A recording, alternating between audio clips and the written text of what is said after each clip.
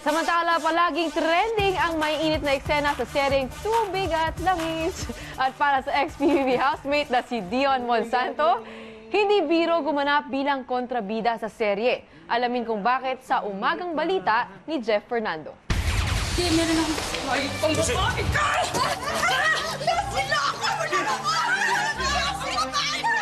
Usap-usapan ang mga ganitong eksena araw-araw sa top rating afternoon teleserye na Tubig at Langis.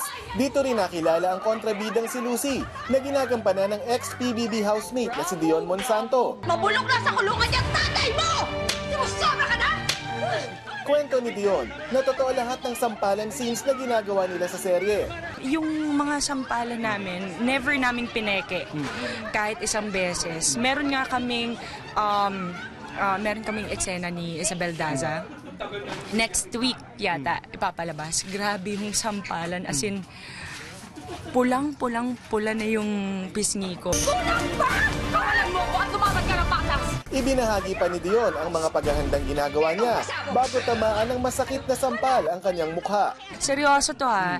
Nag, um, tawag nito, um, minamasahe ko yung pisngi ko. Nagsistretching ako ng bongga.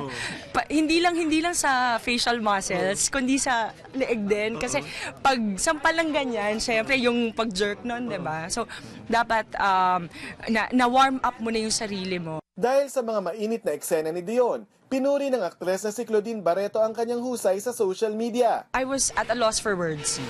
I tumili lang ako ng bongga para akong para akong elementary school girl na kinilig ng bongga, ganon. Mapapanood ang inaabangan na pagtatapos ng Tubig at Langis sa September 9. Kawalan mo ko at lumaban ka ng patas! Etong pasabog! Jeff Fernando, ABS-CBN News.